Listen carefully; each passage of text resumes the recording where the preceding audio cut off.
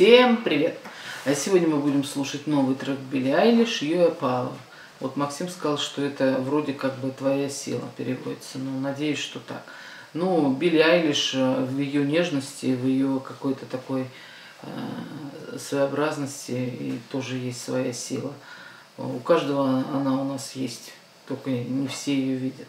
Ну, давайте посмотрим, что нам приготовил Билли Айлиш.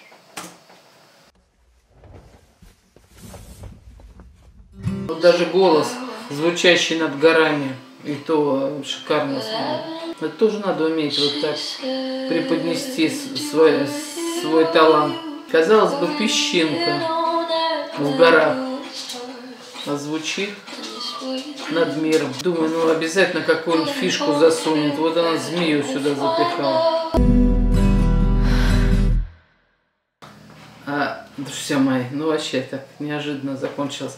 А что, что вообще хочу сказать? Эм, вот кто-то для привлечения с, с публики или все-таки что-то должно было случиться в конце?